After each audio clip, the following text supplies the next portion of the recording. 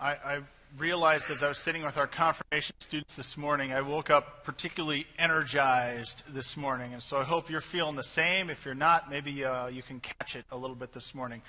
Uh, but all that to say, I was reminded as we were singing this morning, uh, and I was, I was kind of captivated in by the words of the song. A few extra amens came out of my mouth. If they come out of yours, it's okay this morning. I'm just giving you permission right now, okay? Because we're talking about redemption and the work that's done through Jesus Christ in your life, in mine, and in the body of believers. And I think that deserves a few amens, hallelujahs, and a few other things. So don't be afraid this morning. We're rounding out this sermon series that we've been doing for five weeks where we're talking about uh, Jesus, particularly five truths about Jesus. We've talked about the fact that Jesus is real. Like, he really actually existed in history, but then he didn't go away. I mean, he still exists. Uh, we talked about the fact that Jesus himself claimed to be God. I believe him. I hope you do too, because the claims seem to have a good foundation. And we need that if we're going to be saved, you see, because we need somebody who's fully God and fully human, because we talked about the issue of sin. And we talked about the fact that Jesus never sinned, but we do. You and I, if you're sitting in this room, if you're standing on the stage, you have sinned in this life. It's separated you from God. And the, the profundity of sin is that it continues to separate us from God and it turns our world upside down, and we think it's not upside down. And so it becomes a problem. And that's why Jesus needed to save, because the, the relationship that we had with God that we were supposed to have has been broken by sin. Be holy as I am holy. That's the call that God gives from Old Testament to New. We're supposed to be in that relationship with the one who is holy, but sin keeps us from that. And without Jesus Christ taking that issue out of the picture, making us able to be uh, drawn to the one who is holy and stand in his presence, we cannot be saved.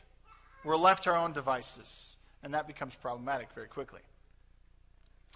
And so today I want to talk about the issue of redemption. I'm going to pick out two things that are redeemed in Jesus Christ. Scripture picks out more than that, but I want to pick out two broad sort of categories that are redeemed. And the very fact of the matter is that we get new birth through Jesus Christ. That's the salvation that we have. But just as when my three kids were born, and, and if you've had kids born in your home, or frankly, if you were a kid at one point, no parent ever says, Well, they're a baby now, I expect the same thing in 20 years. They'll be a baby in 20 years. No, we know they're going to grow. The same thing when we come to know Jesus Christ. When we receive that salvation through Jesus Christ, we are supposed to grow. There's new life that comes with that. There's a redemption that has come and provides something more uh, as we walk with Christ. And we've, we've hung this sermon series on the passage from 2 Timothy 2.15, do your best to stand before God as one approved, a worker who is not ashamed and correctly handles the word of truth. I challenged you to memorize it.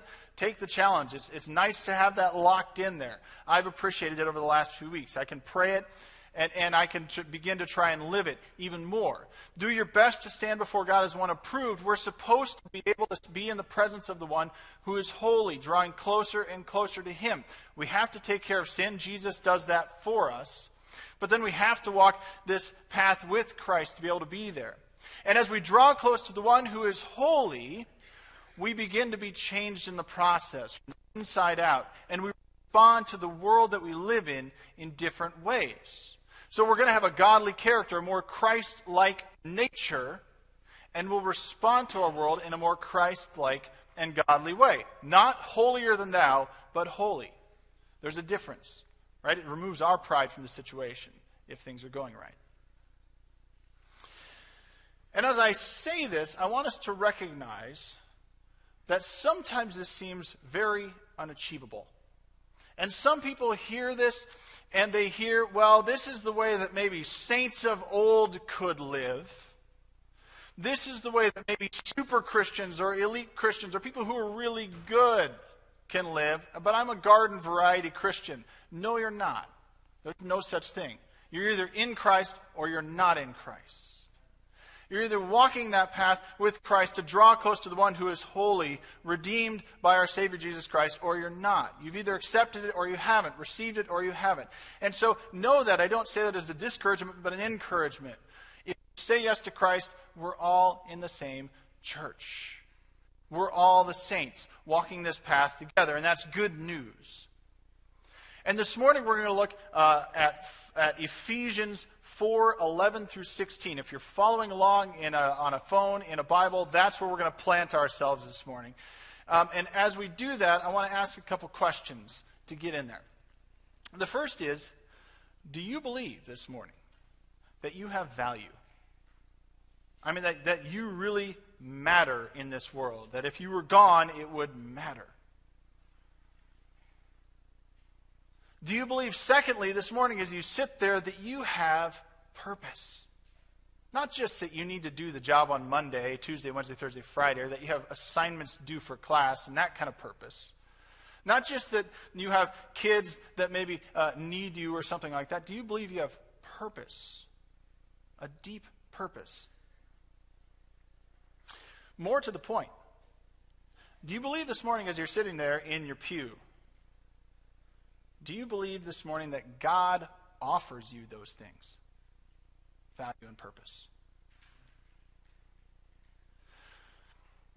We're going to drill into this part of Ephesians 4 in just a moment, where it talks about unity of the body and what that produces. And so, in some ways, that's an effect of the redemption and the salvation that we have through Jesus Christ. And in some way, it propels us towards those very things. But, but I want to start with this. Uh, I, I, hope, uh, I don't know what kind of music you like. I like a lot of different kinds of music. But the one that, that speaks to my soul, I've discovered, is gospel music. It just drills right in there. Um, it just, it just moves, moves me. And, and I like the themes of victory and blessing that are there. I like the music. I like the way it builds. I mean, I like a lot of music, but this, this one just does it for me. Uh, there's, a, there's one uh, uh, song by Hezekiah Walker that I've been listening to recently where he's got the, the choir behind him. And I don't care if it's old or new gospel music. I kind of like the in between stuff the best, probably. The choir's behind him, and they go through four cycles of, of the, the song that they're singing. They're three minutes into the song. They've done one key change, but no harmonies yet, and you're aching for it, right? It, it just needs it. And finally they come, and you're just drawn in. It's the music, it's the themes, it's everything that brings me in. Now, I remember sitting at a gospel choir concert uh, in Chicago back in my college days, nearly 20 years ago now, and, and I was sitting there, and the, the, the director, he was doing an interlude between songs with this gospel choir. And, and he was talking about racial righteousness and some really wonderful themes that he was picking up on that are coming up in the song. And he said, Do you ever just pray in the church for unity? And I remember it was one of those moments where a preacher, he wasn't really preaching, but he was. It felt like it just came right to me, like, well, I don't do that. I was sitting there, it's like he's talking directly to me. Do you ever pray for unity in the church? No, I don't. Gosh, I should pray for unity. So now I do. I pray for unity in the church all these years later. And that's what Paul gets at right here. He gets at unity within the church. And that's an effect of us coming to know Christ and the redemption that we get through Christ. And so let's look at what Paul says here. Uh, Ephesians 4 11 through 16 Incidentally, I'm going to hold that together because in the original Greek, that's one long sentence. It's like four in my English translation. Paul wrote long sentences, and you can get away with it in Greek. Paul says this So Christ himself gave the apostles, the prophets, the evangelists, the pastors, and teachers to equip his people for works of service, so that the body of Christ may be built up until we all reach unity in the faith and in the knowledge of the Son of God, and become mature, attaining to the whole measure of the fullness of Christ. Now, just so I don't disappoint you this morning, I'm not going to unpack all of those different gifted people this morning. That's not what we're going to do. That's for another day. Continuing on. Then we will no longer be infants tossed back and forth by the waves and blown here and there by every wind of teaching, and by the cunning and craftiness of people in their deceitful scheming. Instead, Speaking the truth in love, we will grow to become in every respect the mature body of Him who is the head, that is, Christ. From Him, the whole body, joined and held together by every supporting ligament, grows and builds itself up in love, as each part does its work. Two simple truths we can latch onto this morning. They're going to sound very similar. First is when you receive Christ, you receive life. Something changes. When you receive Christ, you receive life. Now, let me get philosophical for a moment on an idea of worldviews. I've been reading uh, recently from Christian apologists uh, and listening to Christian apologists just because I'm fascinated by it uh, as they unpack different worldviews and religious worldviews uh, that are out there. And what's really interesting is that uh, if within the, uh, the world of secular humanist, basically atheist writing, you know, if you can't touch it, taste it, smell it, or feel it, it doesn't exist, that world. Within that world of atheism, uh, there are authors who are now starting to get honest with the fact that if you eliminate God from your worldview, it is really not just hard, but impossible to propose that there is any inherent value to human life. It, it just is. The only value that I have in that worldview is what I give it to myself. But that might have very negative ramifications for you. Right? I might not value you, but there's no sort of backbone to that value that's there. And, and really, in that worldview, uh, you are answerable to no one because there's nothing coming after this life. There's no judgment, there's nobody to judge. If you take that worldview to its nth degree, you should be able to do whatever you want. The only limitations are pain and the law, basically. Right? Those are your major limitations. But you should be able to seize the day and do whatever you want within that worldview if you take it to the nth degree. Another issue that comes with that is if you actually kind of take that worldview and tweak it a little bit and suggest that maybe I can care for somebody else, even if you know, arbitrarily put that sort of value on somebody else and future generations. Uh, what's interesting to me and, and came to, I had not thought about this, is that we should all probably be vegetarians. Because if we're just the product of parts and pieces coming together over the centuries within that worldview, and there's no God behind it, and there's no inherent value, something could supersede us along the way that then could, just like we put cows in feed yards and eat them, could do the same to us, right? So we have a few problems if there's no inherent value to humanity that's there. Now, I bring that up not because I think that I'm standing here in a room full of atheists. I bring that up because sometimes we mash together the, some of those thoughts without realizing it with a worldview that has God but fairly disconnected from our world. God is, is a little bit distant. We're not drawn that close to Him, or we don't feel that close to Him. And sometimes we feel like we can live within parts of both of these worldviews without realizing it. So we can separate ourselves from God just enough. And what happens, just as an example, and this will, will matter a little bit later as we talk about love further, but what can happen is uh, an example is we can degrade the value of not just us, but of things like love along the way and the things around us, which end up devaluing us without realizing it. So, good example of this. Apologist named Cameron McAllister unpacked this recently in a series of podcasts. I can tell him about you later. But uh, um, he says, love, if we biblically define it, is basically an act of will for the good of another person. And I think he's right. We often define love as simply the sort of, we, we do the softer virtue side of things, the squishy, feely kind of things.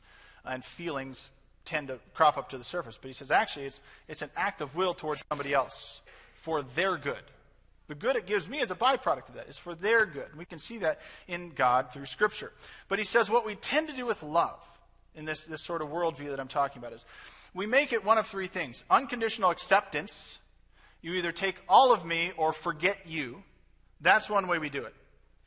Uh, we take it as self gratification and you can see that very clearly outlined in, in the uprising of pornography as an issue within our culture, that it really is just about self gratification. And by the way, if you struggle with that, tell somebody else so you can be broken from that. Self gratification.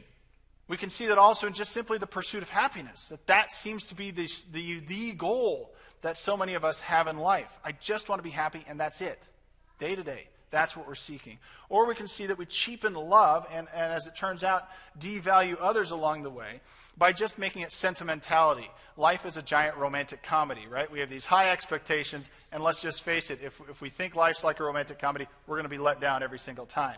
It just never adds up to the movies. But love, in fact, is an act of will towards the other for their good. That's what it is. And we end up devaluing the person and the idea when we live in this worldview that, that can uh, uh bring down the value of humanity. And that's really the power of sin, is what that is. That it would devalue humanity. Now, I'll step away from the philosophical end of it because I don't know if you have the picture or if I just confused you. Um, I'm hoping I did the first. But Jesus gives us a promise. He says, I've come here. My sheep know my voice, and guess why I came? So that you could have life.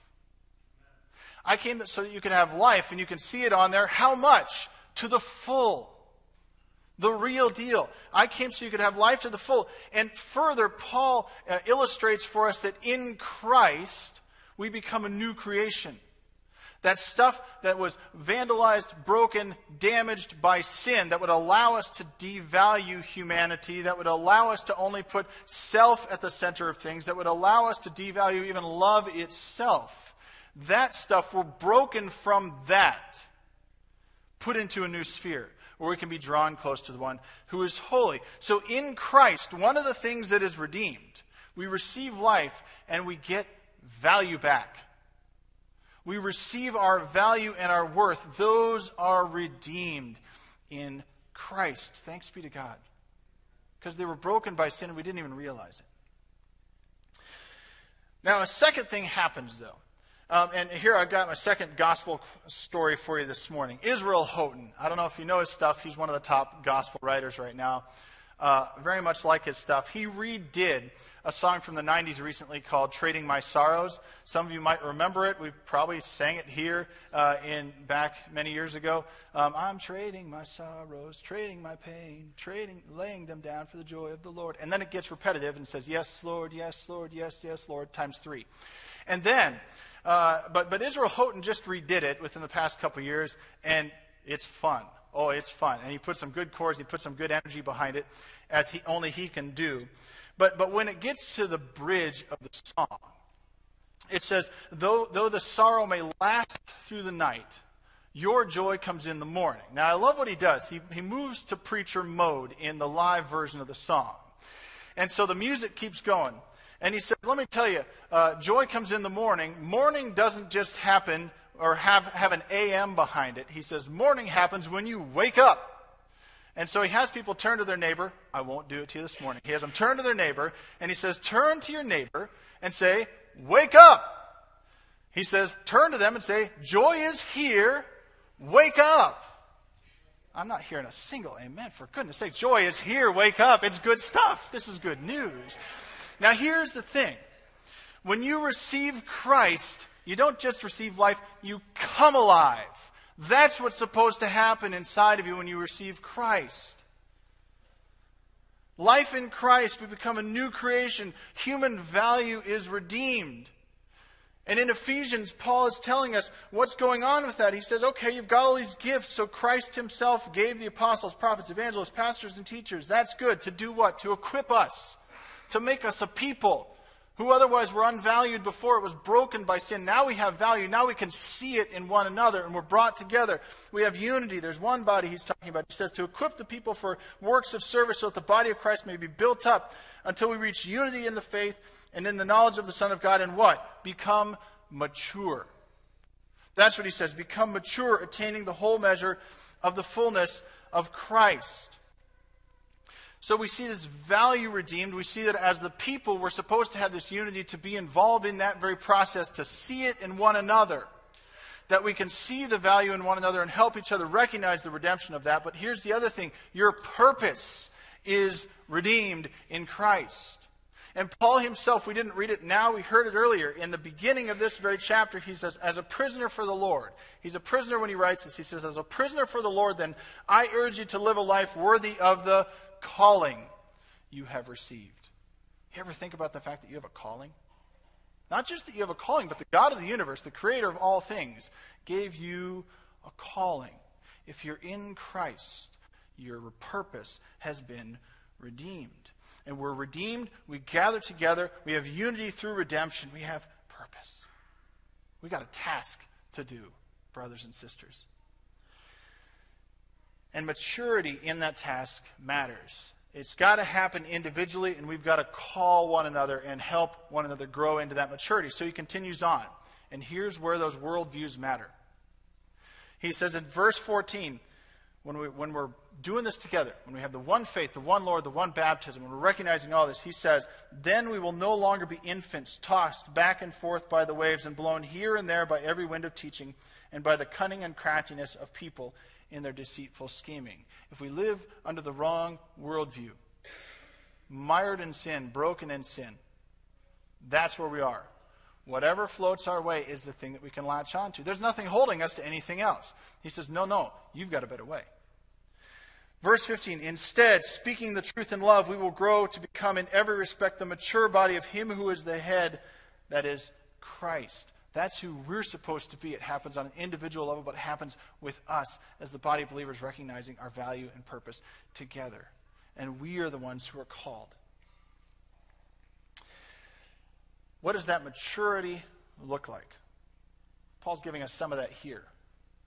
More broadly in the New Testament, I think uh, A.W. Tozer has summed up really well in, in about seven bullet points what maturity for the Christian looks like. Somebody who's been uh, renewed, who's reconciled, who's been redeemed. And here's some thoughts for you.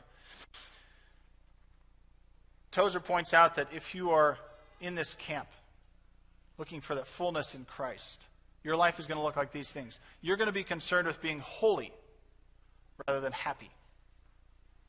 Right? That changes the meaning of love partially there too. If love is love is not just about self-gratification. It's about the good of another, and it's about the good of God too, who is good to us. It's about being holy rather than happy. If we're seeking Christian maturity as the body of believers, it means that we're going to seek God's honor advanced, even if it means suffering on our part, even if it means loss. That's our goal.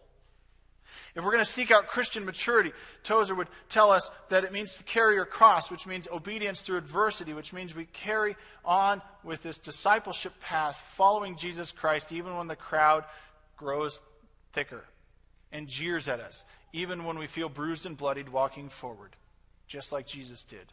We continue on. But guess what? We have a body of believers to support us in that effort. If we're going to seek Christian maturity, and what it's going to look like is we're going to try and see the world from God's viewpoint, which only comes from reading God's word to us and living that out together. If we're going to be mature, attaining the fullness of Christ, and if you want to write anything down, this is the one to write down. You, want to, you, you should have the desire to die right rather than live wrong. That's strong, isn't it? To die right rather than live wrong. If we're going to seek Christian maturity, we have the desire to see others advance at our own expense. This is particularly within the body. It's not about what I want, it's about who we're called to be. And finally, if we are, if we're going to uh, uh, show what Christian maturity is and live it out, we're going to habitually make eternity judgments, not time judgments. We know there's a day when we answer, but we know that there's a day when we get to stand in glory with God when he'll say, Well done, good and faithful servant. Those are the kind of decisions we make as mature believers. There is. There is a tendency to look back, though. There is a tendency, if you haven't received this, to think, what's this going to cost? There is a tendency sometimes when we walk forward carrying your cross, for instance, to think, boy, it would be easier if. We heard the story from Exodus 16 this morning. Uh, that's one that I've latched onto as uh, illustrative of who we shouldn't be in many cases, and sometimes we are, myself included. You have the Israelites who have watched the ten plagues in Egypt, who have been freed from bondage in Egypt who have been chased by the Egyptian army, gone across the Red Sea where the waters were parted, and then the Egyptian army was folded over into the Red Sea. And then they stand in the desert as free people and say, Moses, why did you bring us out here? We're going to die in the desert. I wish we were back in Israel, or in Egypt. At least we had meat. At least we had food. Yeah, we were in bondage. It kind of stunk. But at least we had something to eat. You just brought us out here to starve. And God provides. And God opens the way for them to have something greater than they could have imagined a deliverance greater than they could have imagined, redeeming them from what was to what would be. And so often we can have that idea that, that we can look back and we can say, God, this is harder than I thought. This Christian life you've called me to.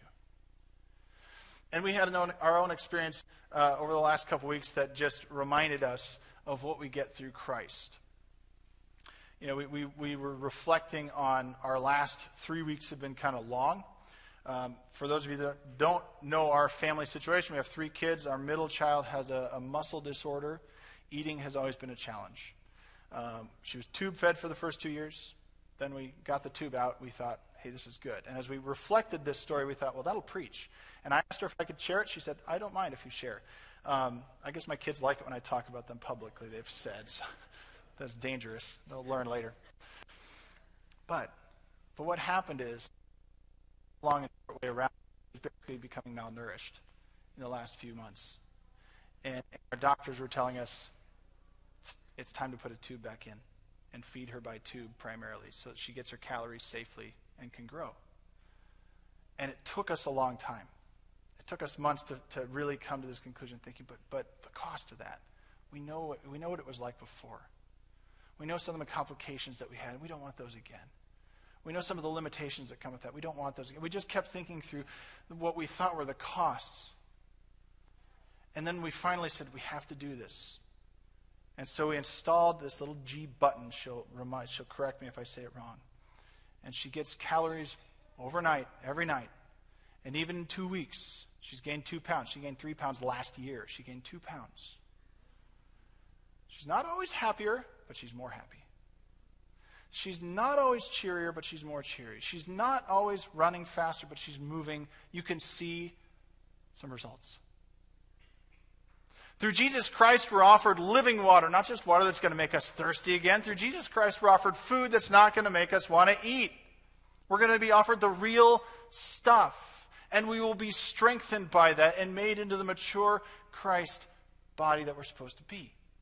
Do you see the, the corollary there? It's so, so clear to us. And we watched it happen tangibly. And that's what happens to us when we say yes to Jesus Christ. We're redeemed. Our value is redeemed. Our purpose is redeemed. And we're strengthened through that to experience the life that is truly life. Everything else is playing around up until that point.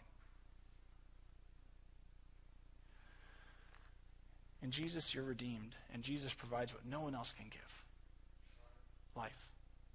And guess what? Bonus, he gives it free of charge for you and me.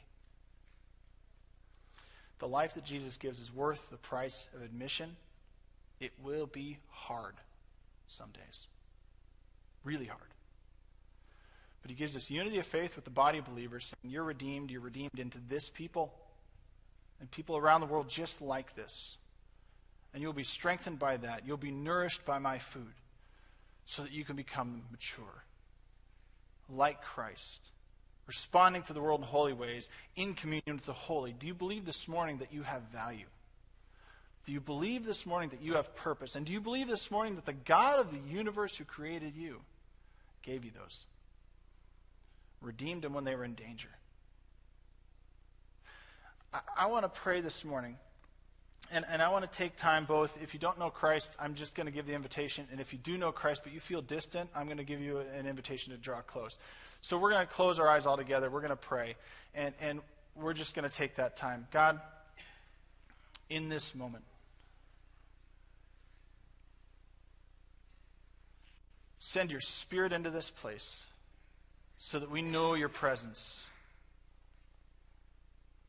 that life that is truly life, the life that you give us, the life that's not playing around but nourishes us like no, nothing else can, that draws us into your presence and changes us from the inside out so we respond to this world in ways that please you, that recognize you as our creator, you as the one who love us.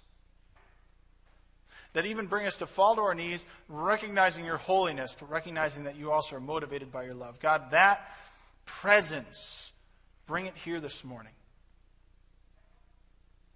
And if you're sitting here this morning and you think to yourself, I have never, ever said yes to that life that is truly life, that only comes through Jesus Christ. It doesn't come through the self, it doesn't come through those around you, it doesn't come through your family, it only comes through Jesus Christ. If that's you, as all of our eyes are closed,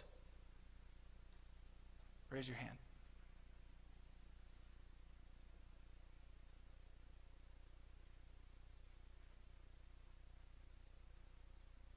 And for those that are feeling far away,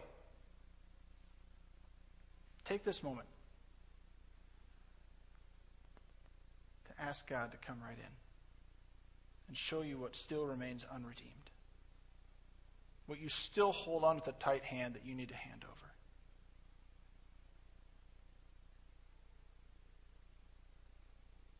Father, I lift us up as a body of your believers who recognize your goodness among us. And we pray that your presence goes before us, that as we leave this place, we would be the witness of what you've done in our lives through our work week and our school week, through our home life, through our life at the store. Pray that anywhere that we go, people would see your radiance from us, your glory. Pray this all in the name of your Son, Jesus. Amen.